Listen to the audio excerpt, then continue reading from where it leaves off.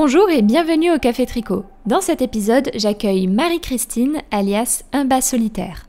Nous allons parler d'elle, de laine et de ses ouvrages au tricot, bien entendu. On va parler avec elle de tout ça dans cet épisode. Si tu n'es pas encore abonné à la chaîne, n'oublie pas de t'abonner et de cliquer sur la cloche pour être informé des prochaines vidéos. Sans transition, voici donc ma conversation avec Marie-Christine. Eh bien, bienvenue Marie-Christine au Café Tricot. Ben, merci de l'invitation. Avant de commencer, est-ce que tu pourrais un petit peu te présenter aux triconautes qui peut-être ne te connaîtraient pas? Oui, en fait, euh, bien moi, je suis euh, Marie-Christine. Euh, je suis la designer derrière Tricot Design MCL. Ça fait quatre ans que je fais des patrons de tricot.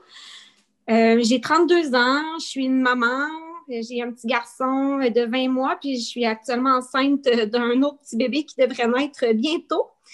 puis, euh, c'est ça, je, vis, je, suis, je suis canadienne, je suis originaire du Québec, mais euh, depuis que j'ai terminé euh, l'université, je reste au Nouveau-Brunswick, qui est la province voisine du Québec. Hmm, d'accord.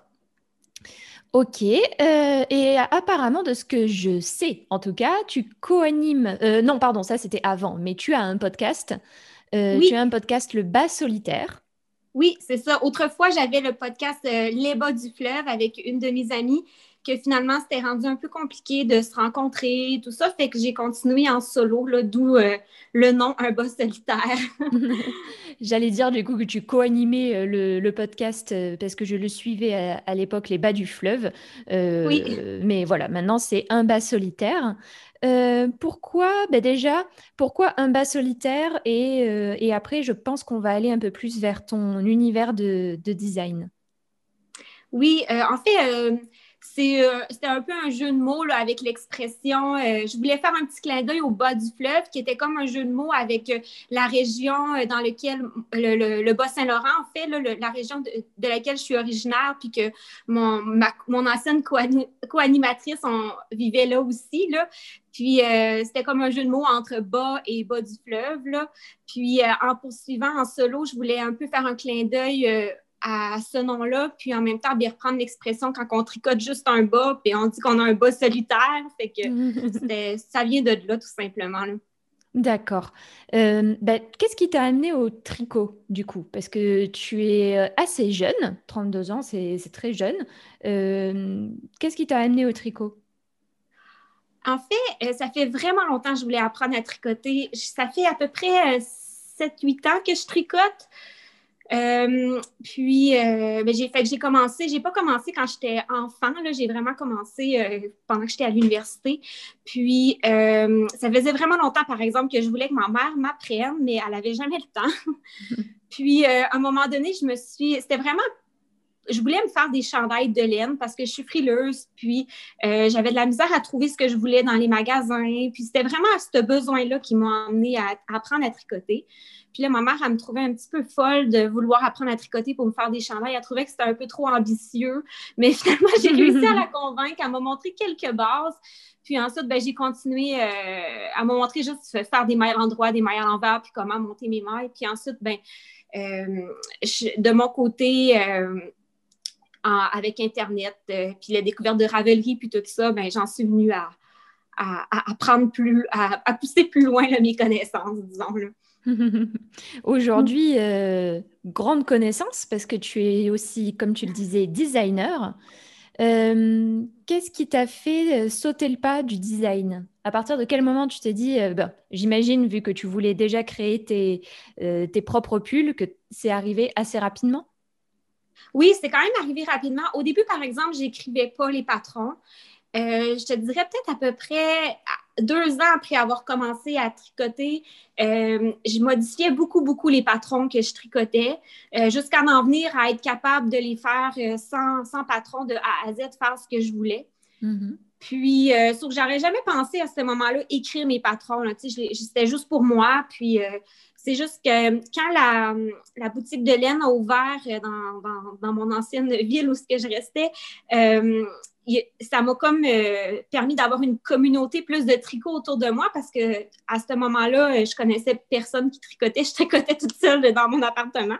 Hmm. Euh, puis, sauf que quand, cette, boutique, de laine-là, la Vilaine à Rimouski, a ouvert, ben là, je me suis mis à avoir vraiment des amis tricot. Puis là, ils m'ont vraiment encouragée à écrire mes, modèles parce qu'ils voulaient les tricoter eux autres aussi.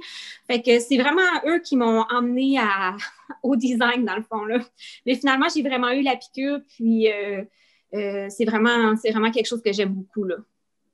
Aujourd'hui, tu dirais que tu designes combien de, de patrons par mois, euh, par saison?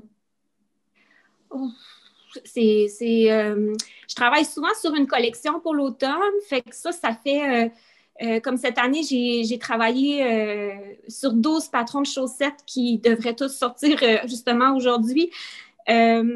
puis, fait au travers de tous les autres patrons, j'ai, ces 12 patrons-là en plus. Puis sinon, je dirais peut-être un, je sors à peu près un patron de vêtements aux deux, trois mois là, environ. Hmm. Donc un patron tous les deux, trois mois. Oui. Euh, justement, je voulais qu'on en parle de ces chaussettes. Alors, ça va sortir, euh, c'est déjà en précommande, 42 euh, dollars canadiens. C'est un livre de patron botanique, en tout cas autour de la botanique, je suppose. Est-ce que tu veux nous en parler un peu plus? Oui, ben, en fait, ben, c'est ça, c'est 12 patrons de chaussettes. Euh, un peu dans l'optique de se tricoter une paire de chaussettes par mois pendant un an, euh, qui sont un peu inspirés justement par euh, un jardin, les fleurs et tout, la nature. Puis, il y en a, y en a pour tous les goûts, là, il y en a qui conviennent plus pour, qui conviennent pour un homme, il y en a qui conviennent pour une femme, il y en a qui sont très, très féminins, il y a des bas plus longs, des bas plus courts. fait qu'il y a vraiment un peu de tout là-dedans. Puis, euh, c'est ça, j'ai, euh, les patrons vont sortir euh, sur Ravelry, qu'on peut les acheter individuellement. On va pouvoir aussi les acheter de façon groupée. Puis, il y a aussi, j'ai le recueil, là, la version livre qui est imprimée, qui, de, qui est en impression actuellement, qui devrait arriver chez moi probablement la semaine prochaine. Comment tu t'es organisée par rapport à l'impression? C'est, c'est par, tu, tu passes par une maison d'édition ou c'est de l'auto-édition? Oui, c'est de l'auto-édition. D'accord, ok. Mm. Euh, ça va, ça n'a pas été trop compliqué à gérer l'auto-édition? Non, mais en fait, c'est, euh, c'est mon quatrième recueil, fait que j'ai, je commence à, connaître un peu comment ça fonctionne. Là. Euh, fait que c'est la quatrième année que, j'en sors un à l'automne. Euh, mais c'est la première fois que c'est seulement euh, des chaussettes. Habituellement, c'est un mélange de, de chandail, des accessoires, un peu de tout. Là. Mais cette année, je me suis vraiment concentrée sur les chaussettes. Hmm. oui, il me semble, tu me dis si je me trompe, mais l'an dernier, c'était... en tout cas, je m'en souviens d'un qui s'appelait Forêt boréale. Oui, ça, c'était l'an dernier. L'année d'avant, c'était Appalaches. Puis le tout premier, c'était Fleuve Saint-Laurent. D'accord. Euh, fan de chaussettes, du coup Oui, oui, certainement. Euh, et de jacquard, de ce qu'on voit, j'ai l'impression aussi. Euh, c'est des pièces que tu aimes tricoter, c'est des quand tu quand tu designs tes patrons, c'est des où est-ce que de d'où te vient ton inspiration déjà? Ben beaucoup, euh, je vis vraiment dans la nature. Là. Je ne vis pas en ville, je, vis en campagne. Fait que je m'inspire beaucoup de ce qu'il y a autour de moi, la forêt, euh, les champs. Euh, fait que vraiment de mon environnement. Mm-hmm. puis aussi, ben, quand, quand vient le temps de designer des, des vêtements, je m'inspire beaucoup de la mode, euh, du prêt-à-porter, euh, des tendances actuelles. Puis, euh, je, couds aussi, c'est un des passe-temps, c'est que je m'inspire aussi beaucoup de la, couture, puis des techniques des fois que j'essaie d'intégrer au tricot qu'il y aurait habituellement en couture. Fait que c'est un mélange un peu de tout ça. Tu penses à quoi comme technique que tu as réussi à intégrer au tricot qui était plus visible dans la couture? Euh, en fait, c'est un, chandail que j'ai euh, sorti euh, cet automne, le pull Syrah. c'est un chandail avec des plis creux au niveau des manches, qui est en fait une technique de couture, en fait, là, quand on coud.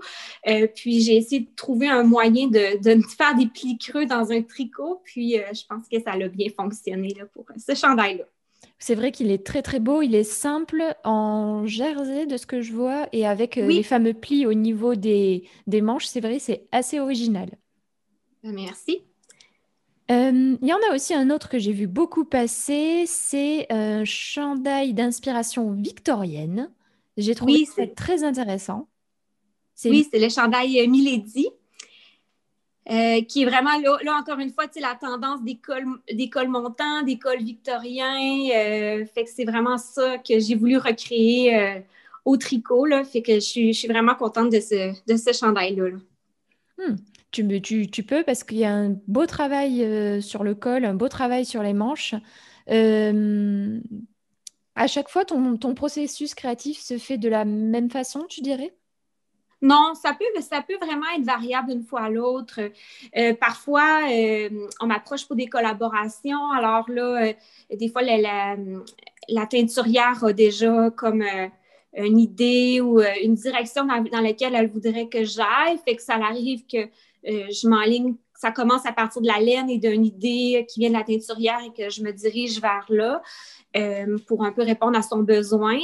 mais vraiment, les, moments où ce que je me sens le plus créative, c'est quand moi, je me trouve ma propre laine et que je pars de zéro, puis que euh, j'ai vraiment la carte blanche. C'est vraiment ça que je préfère. Là. Euh, euh, on dirait que c'est là que je, suis le plus créative et que j'ai le plus d'inspiration, puis que j'essaye plus de me sortir de ma zone de confort à ce moment-là. là Hmm. Donc, euh, est-ce que la laine peut être un, élément de départ pour ton design? Est-ce que euh, tu as l'idée d'abord du design et tu regardes la laine ou ça peut être le contraire? C'est à partir de la laine que tu vas créer le design La plupart du temps, j'ai euh, l'idée du design avant la laine. puis ensuite, j'essaie de trouver un fil qui va être adapté à ce design-là fait que c'est souvent ça la plupart du temps, mais ça arrive parfois que j'ai une laine et que j'essaie de lui trouver une vocation aussi. mais je préfère beaucoup débuter. Je me dirait, plus à l'aise de débuter par le design puis d'avoir la laine exactement parfaite pour le faire par la suite. Hmm. D'accord. Euh, c'est vrai, c'est un choix et puis surtout, ça peut, ça peut varier, comme tu dis, ça dépend vraiment sur les laines sur lesquelles on tombe. Tu as des, tu as des laines préférées? Est-ce que tu préfères travailler avec les laines rustiques, les laines plus, euh, on va dire, euh, superwash, type Merino, etc.? Je suis vraiment pas une fan de Merino Superwash.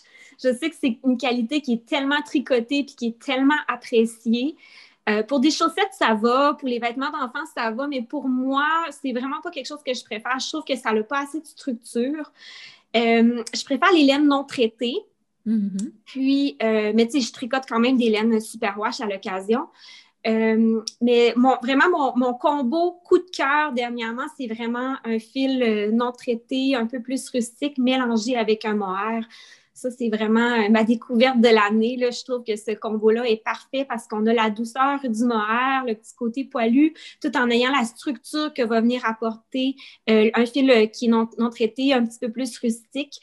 Fait que quand on, quand on design, c'est comme le meilleur des deux mondes, tout réuni ensemble. Donc, la laine rustique et le mohair, les deux mondes réunis, le meilleur des deux mondes réunis. Oui, ça, c'est, pour moi, c'est le, meilleur combo. Euh, c'est vrai en plus que souvent le mohair, on le voit travailler euh, ben, souvent un fil fingering, euh, comme on dit, super wash, avec un fil de mohair pour avoir le côté DK, justement, la laine DK. mais c'est vrai qu'on ne pense pas forcément à l'associer à la laine rustique. je pense que, en tout cas, on a toujours peur que ça gratouille un peu, alors que, comme tu dis, il y a une bonne balance qui se fait. Oui, oui, oui. Mais c'est sûr que je pense qu'il y a des gens qui vont rester, qui vont être sensibles à, des combos comme ça, mais moi, je suis très, très tolérante. Là. Je porte la laine du pays sans problème directement sur la peau. Là. Euh, mais je, je, sais que tout le monde n'est pas, pas comme moi. Là. oui, les peaux sensibles ne vont pas forcément apprécier le combo pour le coup. Non, je pense que les peaux sensibles sont mieux dans, de s'en tenir au mérino. euh, ok. Est-ce que euh, là, dans le design, parfois, on a des hauts, on a des bas? Est-ce que toi, ça t'est déjà arrivé les gros échecs en tricot ou en design? Et, euh, quelle est aussi ta meilleure réussite, le tricot dont tu es la plus fière? Euh, c'est sûr que oui, des fois, il y a des bas. ça arrive surtout quand que quand je suis fatiguée, euh, que, puis que je sens que j'ai de la pression, qu'il faut que je design euh, euh, des, collaborations et tout ça. C'est justement une des raisons pourquoi j'essaye, là, surtout avec le, petit bébé qui s'en vient dans un mois et demi environ, j'essaie de prendre un, un des collaborations parce que des fois, ça nous met toujours un petit peu de pression. Euh, puis, euh, ça arrive souvent qu'il y, a des, y a des designs justement qui aboutissent jamais, là, que je ne suis pas satisfaite, que je passe mon temps à tricoter, détricoter, tricoter, détricoter. Euh, L'an dernier, il y avait justement un petit chandail que j'ai fait pour enfants euh, avec du jacquard. finalement, je suis contente du résultat final, mais je crois que je l'ai tricoté, détricoté trois fois. Là, fait que c'était vraiment. c'était vraiment catastrophique. Je n'étais plus capable. Et depuis ce temps-là, je, je pense que j'ai presque pas tricoté de jacquard parce que je ne veux plus rien savoir. fait que, mais c'est ça. Fait que, tu sais, c'est des choses comme ça. Mais au final, c'était pas un échec, mais au moment que je le faisais, c'était pas agréable. Puis je, voulais qu'il sorte, là. Fait que c'est pour ça que je, persévérais tout le temps, mais c'était juste pas un moment agréable. Euh, mais sinon, il y, a des, il y, a des, designs qui coulent complètement tout seul, euh, puis euh, que j'ai l'idée, puis finalement tout fonctionne, la laine et tout, ça fonctionne tout super bien. Puis, euh, mettons que dernièrement, le Milady, je, je, pense que c'est un de mes plus grands succès. Là. Jusqu'à maintenant, je suis vraiment, vraiment fière de ce chandail-là. Puis la réponse a été complètement renversée. puis le, processus créatif a été vraiment du bonheur là, de A à Z. Hmm. Ok. Bah, tant mieux. C'est vrai qu'il y a des designs aussi, euh, comme tu dis, qui, qui coulent tout seul. Et c'est vrai que le 1010, en tout cas, c'est une réussite. Merci. Euh, ok, on va passer à une question un petit peu plus euh, sensible. ok. il est temps de parler du stock de pelotes. De combien de ah. pelotes se constitue ton stock? Dis-nous un petit peu. De combien de pelotes? À peu près, oui. Oh boy, j'ai une bibliothèque pleine. une bibliothèque pleine? Oui, j'ai une bibliothèque pleine. j'ai beaucoup, beaucoup de stock. Euh, mais je, vais, je vais te dire, c'est pas des acquisitions si récentes que ça. Euh, parce que maintenant, j'achète beaucoup moins de, laine qu'avant. Puis, euh, mes dernières acquisitions ont pas mal toutes été tricotées ou vont être tricotés assez rapidement parce que je, suis, je ne suis plus une acheteuse compulsive de laine comme je l'ai déjà été, euh, euh, je dirais peut-être il y a cinq ans passés. Là. la majorité de mon stock, ça date d'il y a cinq, six ans passés. Là. Hmm. Qu'est-ce qui s'est passé? ah, c'est euh, une époque où ce que je, quand, j'ai commencé, quand j'ai commencé à travailler, en fait, je travaillais un peu à l'urgence je travaille dans le domaine de la santé, puis l'urgence, en fait, c'est vraiment pas fait pour moi. Puis, euh, euh, toutes mes émotions négatives envers l'urgence étaient transformées en achat de laine. C'est tout simplement ça. en fait, tu compensais en achat de laine. Oui, je compensais. Je me dis, bon, là, je vais survivre à ma nuit, euh, puis je vais m'acheter de la laine en, arrivant chez moi le matin. fait que tout date un peu de ce temps-là. Puis, euh, fait que je me retrouve avec un stage plein de mérinos super de laine à speckle qui était très tendance dans ce temps-là. Euh, que c'est vraiment plus quelque chose que je tricote maintenant. Fait que je pense que j'aurais juste besoin d'avoir le temps de faire un bon déstache puis faire du ménage dans ma bibliothèque. Mais euh, le temps manque actuellement. Fait que peut-être un projet pour mon congé de maternité. en pensant à te reposer, bien sûr. Oui, oui, oui. Euh, combien de temps tu passes à, tricoter par jour, justement? En temps normal, je dirais, je tricote pas mal seulement le soir, une fois que, que mon garçon est couché. Euh, en écoutant la télé ou euh, tranquille. Là. Fait que peut-être une à trois heures par soir. Hmm. C'est rare que depuis que j'ai euh, depuis que j'ai un, enfant, je peux plus passer des journées entières à tricoter comme je le faisais auparavant. Là. Fait que c'est sûr que mon rythme de tricot a, quand même diminué depuis ce temps-là. Mais en même temps, je trouve que c'est correct comme ça. Tu sais, la, fin de semaine, on, je la passe plus en famille. Puis euh, c'est vraiment le soir, là, quand c'est tranquille, que je vais m'installer avec mon tricot pour relaxer. OK. Euh, et du coup, plutôt mono ou multi en cours? Je suis pas mal mono en cours. Euh, ça arrive souvent que j'ai une paire de chaussettes et un chandail mhm. ou comme un, accessoire et un chandail sur mes aiguilles. Mais les chaussettes, ça compte jamais. Non, ça compte pas. Hein, je, je, suis bien d'accord. Mais même là, avant ça, je tricotais beaucoup comme dans les pauses au travail et tout ça. Puis là, depuis la pandémie, je traîne plus mon tricot au travail. Puis c'est souvent là que je tricotais des, chaussettes vanille, là, toutes simples en jersey.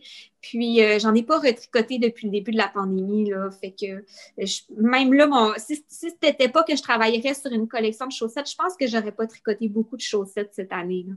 Hmm.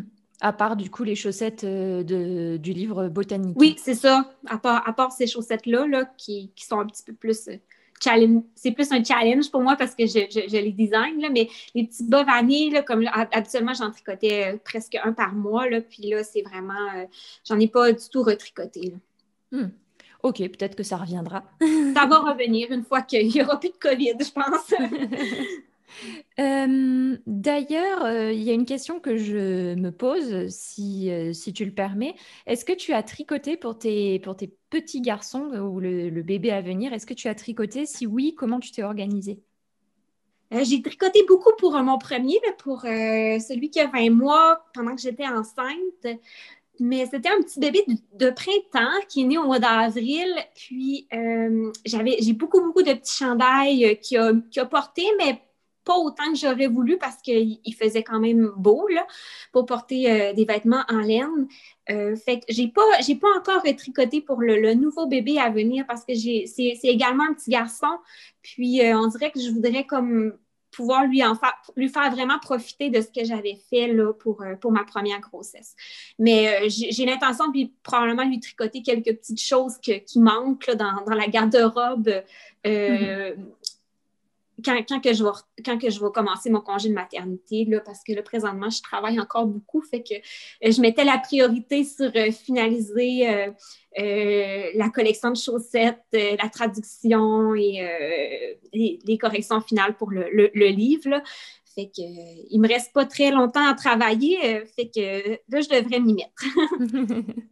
Euh, d'ailleurs, c'est ton travail à plein temps, designer tricot, ou tu as quelque chose à côté? Ah non, non, j'ai un travail à plein temps. Ça, c'est mon, travail de soir et de nuit.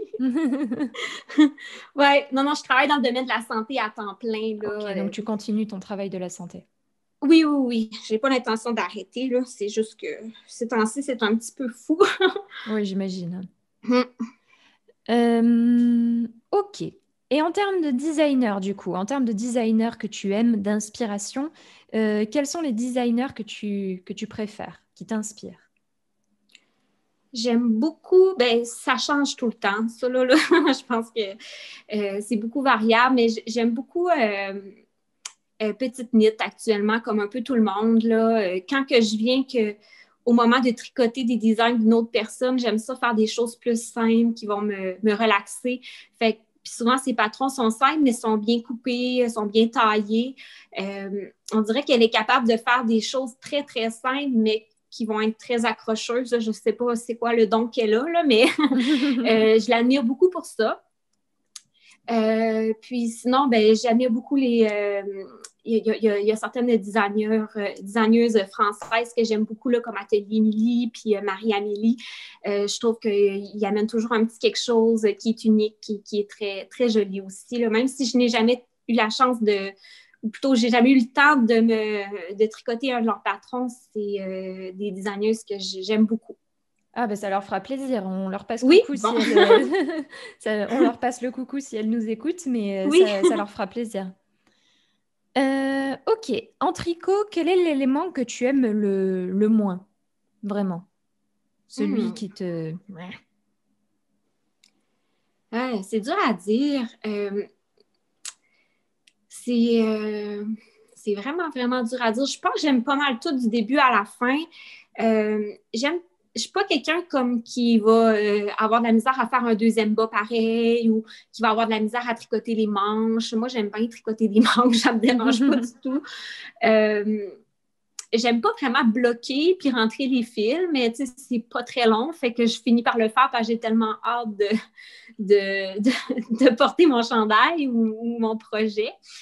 Euh, mais peut-être, je dirais, j'aime pas vraiment tricoter pour les autres personnes. Je pense que je suis une tricoteuse égoïste. Je pense que ça serait ça la meilleure réponse que je peux te donner. Là. Donc, euh, comment on dit euh, en anglais, c'est selfish knitting, c'est tricot pour moi. Même des fois, on dirait pour mes enfants, j'ai de la misère à tricoter pour eux parce qu'on dirait que j'ai plus d'inspiration pour moi, puis on dirait que je sais que moi, je vais plus en profiter qu'eux. Fait que je suis, je suis une tricoteuse très égoïste. Après, du coup, maintenant que tu vas en avoir deux, tu peux te dire que ça servira deux fois. En plus, deux garçons, oui, ça oui, oui, bien. oui. Euh, au moins, ça servira deux fois. Oui. Euh, ok. Euh, est-ce que tu as déjà transmis le virus du tricot à quelqu'un?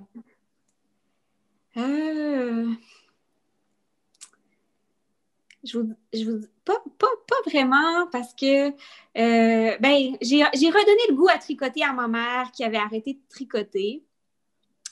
Euh, mais sinon, euh, les gens que j'ai rencontrés qui tricotent, c'est des gens qui tricotaient déjà, puis euh, ils étaient déjà contaminés.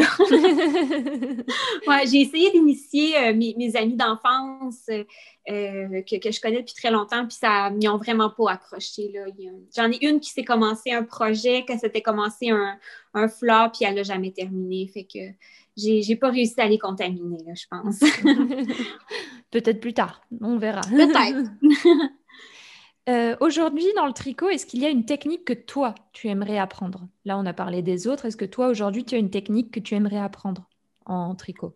Hmm. J'aimerais bien apprendre une nouvelle technique, mais on dirait que j'essaie d'en trouver. Tu comme je, suis déjà à l'aise avec la brioche, avec le jacquard. Euh, il euh, n'y a, pas grand chose, à part peut-être peut la broderie. Je sais que c'est de plus en plus tendance des gens qui font des broderies sur leur tricot. Mm-hmm. J'aimerais bien avoir le temps euh, de m'initier à, à, ça. Je pense que j'irai avec ça parce que toutes les autres choses, c'est la brioche, le jacquard, euh, le stick, le couper son tricot, c'est toutes des choses que j'ai fait. Fait qu'il y aurait la broderie qui me resterait à, approfondir, mais le temps manque vraiment. je trouve que ça a l'air tellement long. C'est vrai que, en plus, c'est vrai que c'est très, très, très joli. Ça amène vraiment un élément de plus euh, à un design.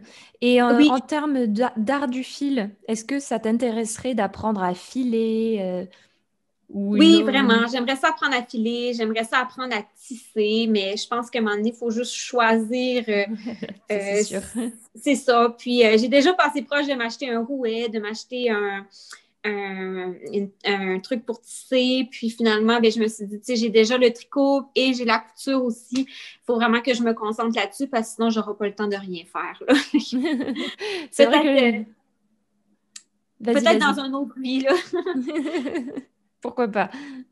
Euh, ok.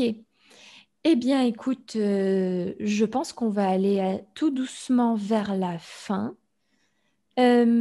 Est-ce que, avant de terminer, tu aurais une petite astuce à donner aux triconautes qui nous écoutent? Hmm, Une petite astuce tricot? Oui.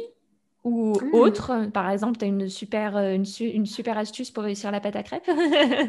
Ah non, en cuisine, je ne vous donnerai aucune astuce. Ça, par exemple, je suis vraiment pas bonne. Euh, non, c'est sûr, en cuisine, je ne peux pas rien vous dire, mais en tricot, euh, ben, je vais être plate. Hein. Je, pense que je vais dire aux gens de faire leur échantillon. Mm. Euh, Classique, efficace. Si c'est pour un chandail, faites votre échantillon. ayez pas peur de modifier un patron. Faites-vous confiance. Moi, c'est comme ça que j'ai commencé justement là, à m'initier tranquillement vers le design, c'est en, modifiant des patrons. Euh, puis souvent, les gens, ils m'écrivent, ils disent Ah, j'ai changé le point, ça te dérange-tu? Et moi, je trouve ça tellement beau de voir les gens qui prennent un de mes patrons comme une, quelque chose de base, puis qui l'amènent ailleurs. Je trouve ça vraiment merveilleux. Puis je trouve que c'est, c'est beau de voir ces nouvelles versions-là popper sur les réseaux sociaux. Là. Fait que de se faire confiance aussi. Mm. c'est vrai. Et comme tu dis, à chaque fois, je reçois aussi des messages qui disent Oh là là, mais moi j'ai changé le point de ce pull-là, ça te dérange pas? Non, non, ça me dérange pas, c'est excellent, continue. ben oui, c'est ça, c'est vraiment, c'est vraiment le fun de voir où, ce que les gens peuvent emmener un, patron qui à la base est plus simple ou complètement différent. Fait que non, je trouve ça toujours très intéressant de voir ça. Ok. Et enfin, est-ce que tu aurais des euh, livres, podcasts ou blogs à recommander? Hmm. euh, les podcasts, ben c'est sûr qu'au au Québec, on en a beaucoup des très bons.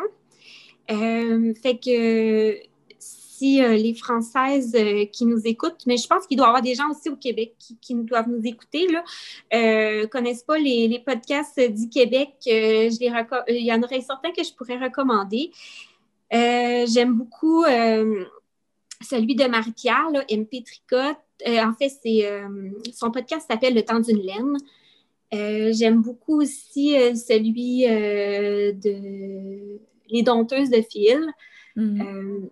Fait qu'au Québec, c'est pas mal. Euh, et puis, il y, en a, y en a vraiment plein. Il y a vraiment comme une grosse famille de podcasteurs au Québec. Fait que si les gens euh, s'intéressent à, ça, je, je, les encouragerais à écouter nos, mes, mes, amis podcasteuses d'ici là.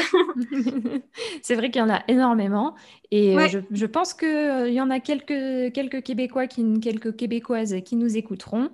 Et après, bien sûr, il y a tout ce qui est podcast français, mais dans tous les cas, ça reste francophone.